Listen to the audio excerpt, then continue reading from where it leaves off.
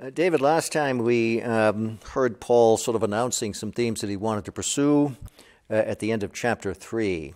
Uh, he was talking about, in his prayerful way, um, uh, strengthening the community in holiness and blamelessness before God. And Right. that seems to be theme one of chapter 4. Right. And then talking about the coming of our Lord Jesus with all his saints as theme two. Yeah. So, mm, what about theme one, uh, holiness and blamelessness? What's Paul's concern here at the beginning of chapter 4? Well, there, there are really two concerns he has about the holiness and blamelessness. The first one has to do with sexual immorality. And precisely what's at stake, I think, is hard to figure out. He, he, he says he somehow brings this as a word through the Lord Jesus in, chapter, in verse 2 of chapter 4. Whether that means he knows a saying of Jesus we don't know, knows a saying of Jesus we do know, or that this is something that the risen Lord has inspired him to say, we just have no way of knowing. But the will is that you abstain from, from fornication. That seems fairly clear, though the, the word for fornication is a little. Um, can be can be applied in a in a broad variety of ways. But the tricky verse for me at least, and I love your wisdom on this too, is is verse four that each one of you know how to control your own body, which all also could mean that just the words are unclear. The Greek words are unclear in their translation. That each one of you knows how to hold fast to your own wife, um, and it's not.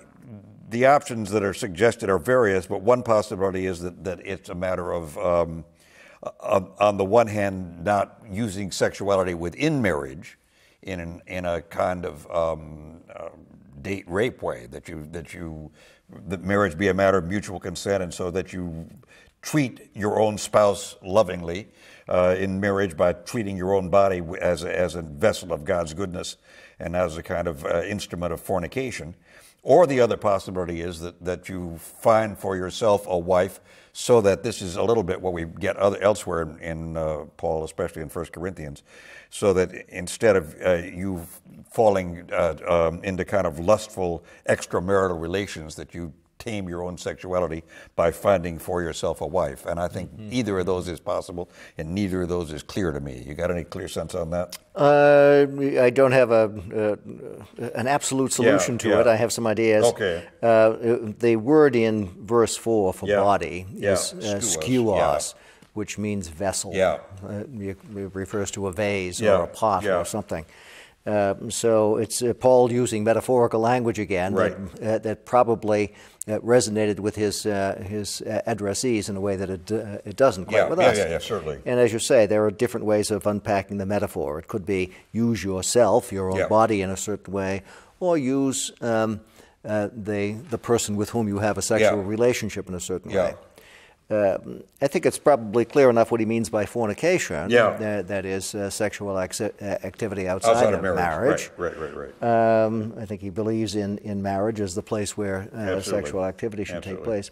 Uh, I think what he he is getting at, whether he's referring to oneself or one's partner um, in this uh, admonition here, uh, is kind of clarified by verse five. Uh, at the end of verse four, he talks about holiness and honor. Right. And then the unpacking that comes in verse 5 not with lustful passion, like the Gentiles who do not know God, that no one wrong or exploit a brother or sister. Yeah. Uh, I think that's, uh, that's the heart of his message here.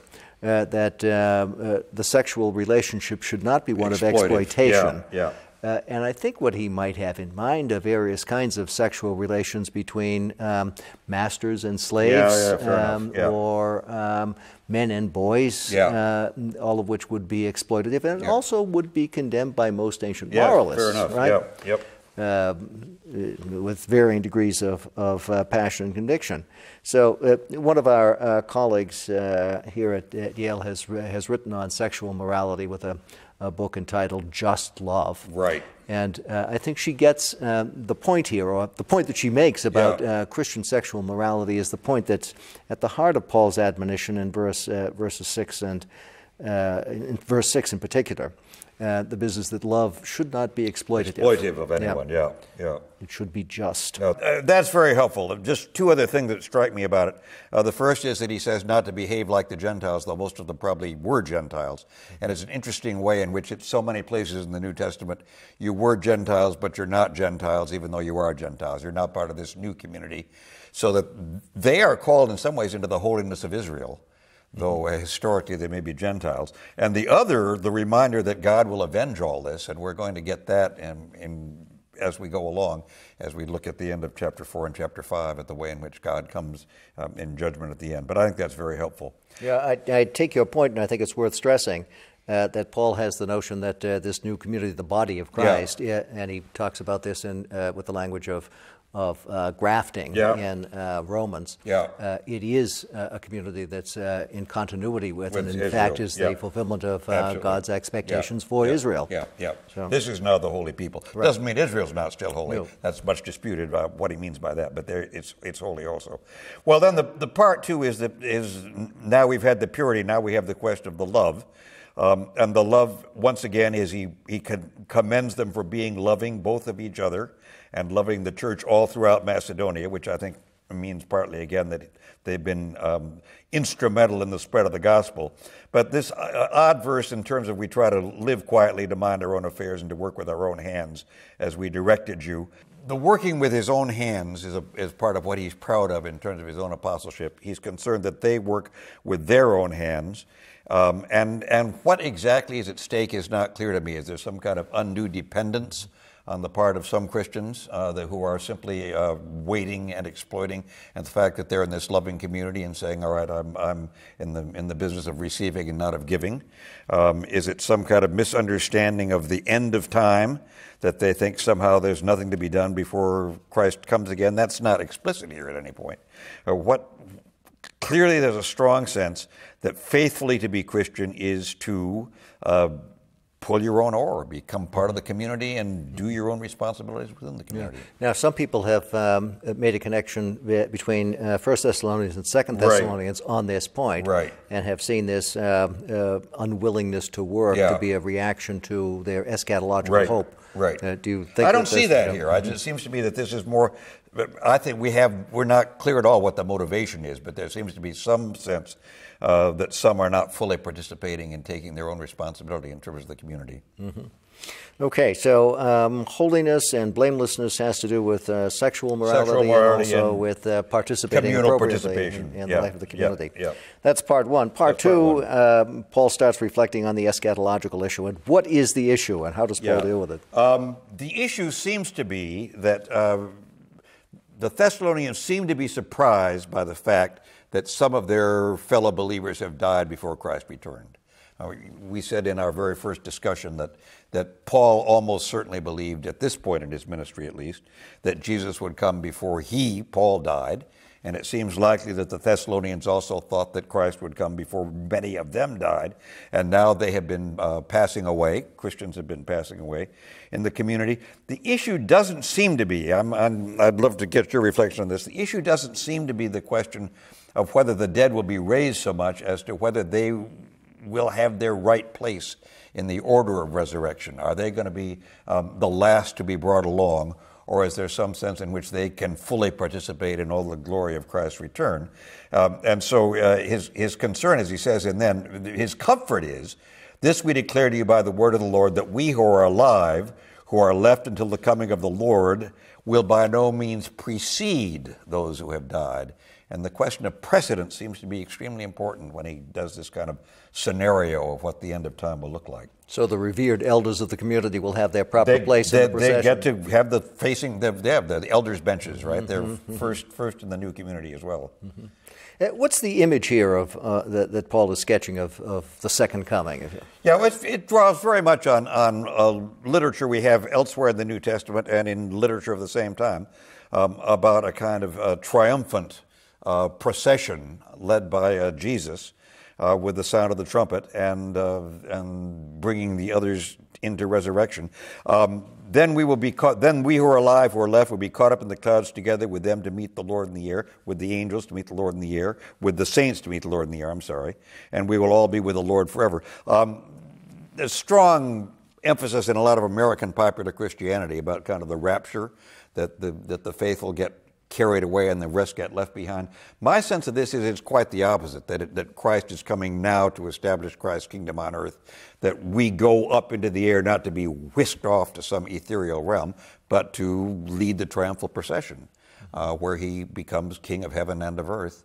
And that uh, the, what we want to make sure is that the elders get a chance to be part of the parade. Uh, I remember um, teaching in a, um, a New Testament course here at one point and um, having a conversation about First Thessalonians and telling my students uh, there is no doctrine of the rapture in First Thessalonians. In fact, there's no doctrine of the rapture any Anywhere, place in the. New Testament. Right, right, right. Uh, Yeah, yeah. Many of them were very surprised. Yeah, yeah, it's Some, exactly. so- some of them also wondered, what's the doctrine of the rapture? yes, Uh, but- right. Life at Yale, right? Yes. But the um, uh, the language of the rapture is, is uh, derived from this particular verse, right? Caught up. caught in up. The Oh, the caught up in the air, Yeah. and then and then as, as if that's the first catching up on the way to the further catching up. Right. And I sus- my strong suspicion is it goes the other way. That this Yeah, is- this looks like the end time scenario. This the looks the end so-called time scenario. doctrine of the rapture Right. assumes that that's something that takes place before eschatological Exactly. tribulation. Right, Exactly. Kind of reading this text Yeah. in connection with the Book of Revelation, Doesn't and work. they're really Yeah, doesn't work. I operating with exactly different right. Uh, different scenarios. exactly right.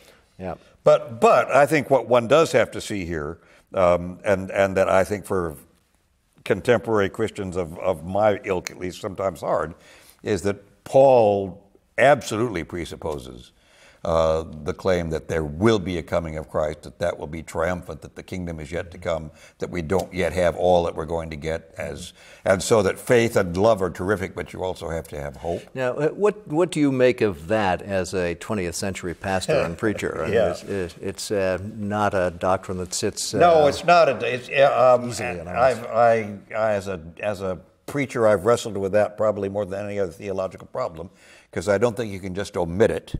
Um, I don't think you can do what some really distinguished theologians have tried to do, which is to say, well, it's just a mythological way of talking about being having a good full life right now. This is my full life is its own manifestation of Christ's coming. That is eschatological existence. Um, so I, I'm better at my puzzlement than at my solution. Um, my, my solution, which is not a solution, is to claim that God is not just the God of personal lives, but of history. And that unless there's some way in which we can claim God's activity in the way the world works, not just the way my life works, we undervalue the, the New Testament. And the claim that um, that we move toward God, that, that whatever we are doing as individuals and as church and as, as history brings us finally into the fullness of who God is, not just our own best efforts. And, and that's as far as I've gotten after lots of years of trying to get somewhere. I, I sympathize with that, and um, I'm not sure I'd express it in precisely the same way, but I, I think there has to be room for, um, uh, for hope in, Yeah. uh, in um, Christian life and in Christian teaching. And the way we express our hope is going to, uh, for a fulfillment beyond our own Yeah, individual yeah, lives, yeah. Um, is going to be shaped by our own understanding of cosmology Absolutely. and um, uh, the world as we know it. Uh, and it's a lot bigger a world than It's a much bigger world. Paul right, thought. right, right. um, but this, um, it's a world too, and uh, that's grounded in a God who It's- it's gotta be God's world still, who right. can pull us beyond where we are. yeah, all that. And so Paul's uh, imagery here, derived from the political circumstances of his day, Yeah. is mm, stuff that we can't quite relate to. Right. But uh, the hope, I think, is something I that we the have hope to. is huge, Yeah. and it's hope for you and me, but also hope for our world. Mm-hmm. encourage one another with these words. Encourage one another with these words. Still I try. think, I what we need try. to do. Yep, Yep. absolutely.